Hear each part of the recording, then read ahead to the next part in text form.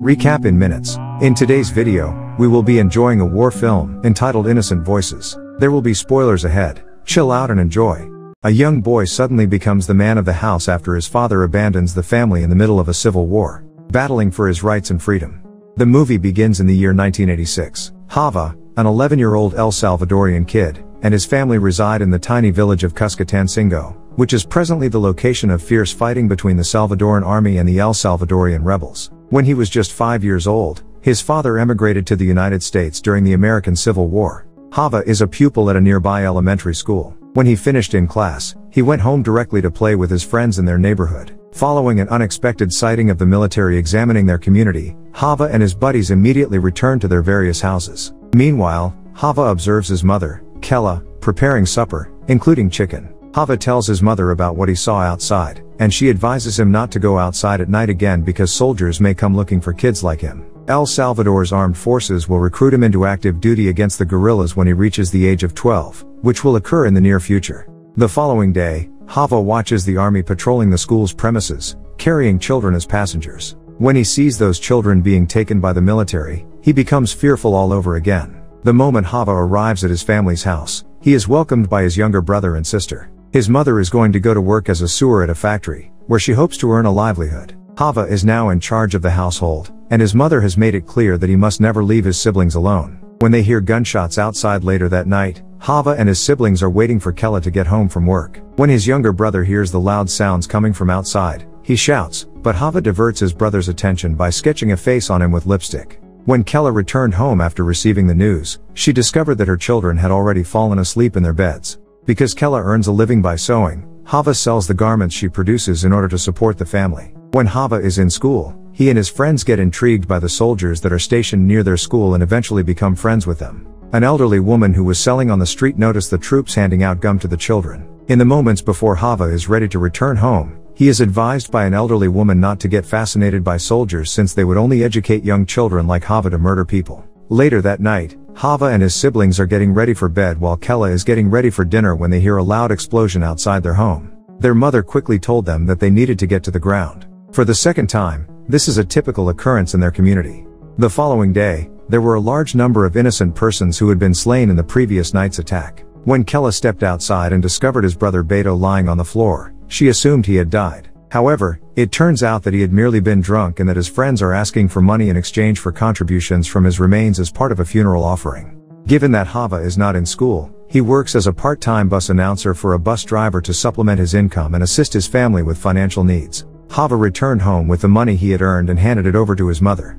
Meanwhile, Hava is having a good time at school with his classmates. They were occupying themselves with toy soldiers. Christiana Maria, a girl in Chava's class, becomes the focus of his affections. Suddenly, the army stormed the school, and Hava witnessed the army recruiting 12-year-old students from his school inside, as well as a 10-year-old being recruited after he tripped another boy like an evil prank on him, and he was violently restrained after he tried to escape, and his teacher was almost killed while attempting to defend him. They heard a gunshot after a soldier pursued the child who had run away from the scene. The freshly recruited children were transported in a military transport van. The next few days will be even more delightful for Hava as he begins to demonstrate his affection for Christina in more public ways. He sends her a note and asks her to come to play with him and his friends. When Hava gets home late one evening, he chooses to walk Christina to her house instead. They were walking down the street when they heard gunshots, which caused Hava to fear and run home. He got a reprimand from his mother for reaching home late, which was understandable considering the circumstances in their hamlet. They immediately sat down to eat with Chava's siblings and shared the food they had prepared. An unexpected visit from his uncle Beto, who has joined the rebels, arrives at Chava's family on a rainy evening. Since Chava's father passed away, his younger siblings have referred to their uncle as daddy. Gunshots could be heard once again while they were having dinner. Beto learned that his next door neighbor, Angelita, had been shot and immediately rushed outside to check on the wounded. She did not make it and died as soon as she arrived. They were able to sleep peacefully since gunshots were freely fired outside the home. The following day, the whole neighborhood is in mourning over Angelita's death. Beto speaks with Kella and expresses a desire to take Hava with him in order to prevent the military from recruiting him. However, Chava's mother is opposed to this. Hava receives a radio from Beto, who instructs him on how to listen to the rebels' Venceremos radio station, which has been prohibited by the government.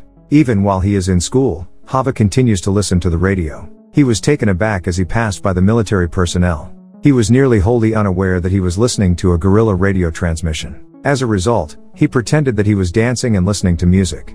Gunfights between government and rebel soldiers rage throughout the day in the village where they reside since the community is located on the outskirts of the combat zone where they settled. However, Hava is saved by the town's priest, who plays the same song over the church's loudspeaker, diverting the soldiers' attention away from Hava. He had intentionally performed a piece of music that had been outlawed by the Salvadoran army in front of the troops. When Hava arrives at the house, Kella shouts out to him, asking him to bring the radio he has got. The fact that Hava is disclosing something in front of the military makes Kella feel too uncomfortable, so she recalls the radio and retains it. Hava meets Christina in class and falls in love with her. The fact that he got a letter from her made him smile. The school is shuttered as a result of the rebel assault on the military from inside the building. The sound of bombs and gunfire can be heard through the classroom window. Civilians have resorted to hiding and covering. After being struck in the legs, Kella manages to escape from Chava's school and save him. The commotion was quieted within minutes after starting. There were a lot of innocent bystanders that died. The priest was even taken into custody by the military, and Hava was there to witness the incident. The priest, meanwhile, is gathering together the citizens in the village. As a human being, he urges everyone to fight for their rights by protecting their lives and fleeing as far as they are able to do so. Kella and her family relocated out of town to her mother's home, which is in a more secure neighborhood. In contrast to their previous home, Kella's children were instantly taken with the new one. It's a lot more confident and serene. It is now possible for the children to play outdoors in safety and to benefit from the fruits produced by the trees that surround their new home. Meanwhile, Hava paid a visit to his beloved Christina, bringing his friends with him. Christina smiled as they sang a song for her, and she thanked them for their thoughtfulness. Hava and his friends were swimming in a nearby river when a young soldier appeared out of nowhere and discharged his weapon at them. He had just finished the camp and was only 12 years old when he did so. He is armed with firearms and issues a warning to Chava's group. The following recruiting day is announced by one of the guerrillas, Raton, and Hava and his pals issue a notification to the whole village to keep their children hidden from prying eyes. Hava instantly alerted his neighborhood of the news and told them that he and his family would be hiding above their rooftops when the recruiting day arrived. His strategy did, in fact, prove effective. Chava's family and close friend Christina make a cake for him and surprise him on his birthday one day when he is out and about in the town. Hava is delighted. He was first happy when his friends and family began to sing, but he soon became alarmed when he realized that he was already 12 years old. Because this can only imply that he will be taken out to camp with the soldiers and would be recruited, he fled outdoors, where he was quickly pursued by Christina. However, rebels were apprehended in their village, including Raton, who was later executed. Therefore, he quickly went to the church and inquired about the priest to ask for help but was nowhere to be found. In Chava's village, the recruiting effort proceeded, with soldiers dragging children as young as 12 years old against their will. Hava then takes refuge on the roof in order to escape. The children's parents are left with no option except to weep out loud. Following that, Hava decides to pay a visit to Christina, only to discover that her home has been blown to the ground. It is agreed by Hava and his friends to join the rebels. Nevertheless, they are being pursued, and the guerrilla camp is being assaulted by the army. Chava's family made the decision to evacuate the area, and Kella was shocked to realize that Hava had vanished.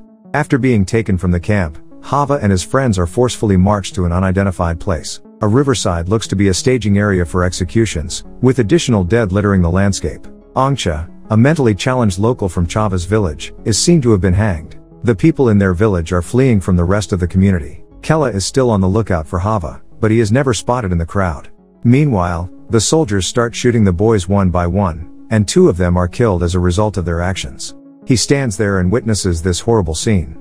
Hava is the next in line, but he is spared at the last minute by a guerrilla assault on the defenses. He returns to the woods, where he finds himself in the middle of a furious conflict. Hava decides to fight against the guerrillas after seeing one of their members being slain by a government soldier. The young guy is taking up the weapon but soon discovers that the government soldier is another young boy he had known in elementary school. He is unable to bring himself to murder his old friend, who is also a human being. During this time, Hava runs both from the camp and from the boy he was aiming at, who learns that his life is in the hands of another child. Hava returns home to discover his mother and the remains of their home, which has been entirely destroyed by fire. Kella returned to their home in the hopes of locating Hava, but she was unsuccessful. Hava, on the other hand, is taking a break in the river. Hava saw his mother weeping in their home, and the two of them were reconciled. To avoid being apprehended by the police, Kella chooses to transfer Hava to the United States, and he swears to return and rescue his brother before he becomes 12 as well.